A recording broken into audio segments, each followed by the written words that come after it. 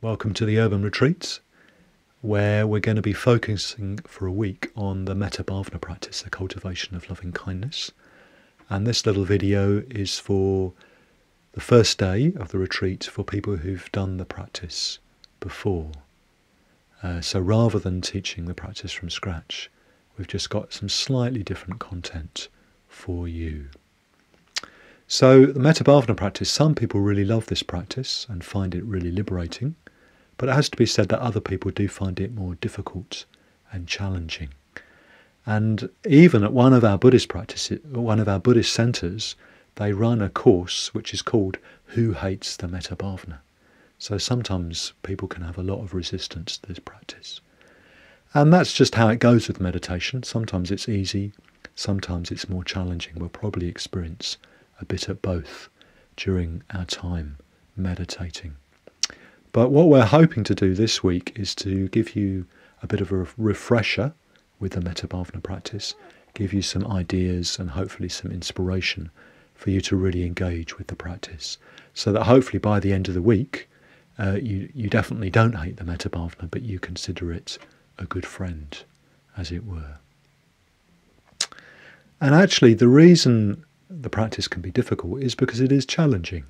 It is really stretching us, it is really asking us to turn around our emotional attitudes towards people.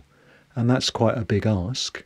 And of course, our emotional attitudes run very deep, they can be very habitual. And um, it takes a lot to kind of gradually work with them and change change them. So in a way, we shouldn't be surprised if the practice is is difficult and challenging at times because it's it's really kind of getting to um, yes, it's getting down to the kind of roots of what motivates our behaviour and our attitudes and our thoughts towards other people. But because the practice is challenging, it can also be very, very rewarding. It can really change us. It can really kind of liberate us from old negative patterns. So it can also be a, a, a real liberating practice. And um, yeah, you could argue that in a way, this practice of metta bhavana contains Buddhist values more deeply than other meditation practices, say, for example, the mindfulness of breathing. Uh, you know, the Buddhist values of compassion are much more explicit in this practice. Uh, you could even argue that if you're only going to do one meditation practice, it should be the metta bhavana because it's such a deeply transforming practice. I think I would I would argue that it's a really really good practice to do. So anyway, I'm saying all this just by way of really encouraging you to engage with the practice for this week and just really give it your best shot. So what there is now is a 30 minute led meditation which you can do if you want or you might just prefer to meditate on your own. And then there's some questions for reflection. So you'll find them on the website and really encouraging you to consider these questions because it will really help you make the most of the material that's coming up later in the week. It will just make you more aware of what goes on in your meditation and that will help you make the most of the material coming up later in the week.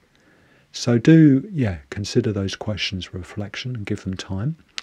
Also, every day there's going to be posted up a short uh, suggestion for daily practice from Subhadramati taken from her book recently published called Not About Being Good. And these are just little suggestions or reflections about practicing loving kindness off the meditation cushion. So as we're going about our life, uh, they're more yeah daily practice suggestions, if you like.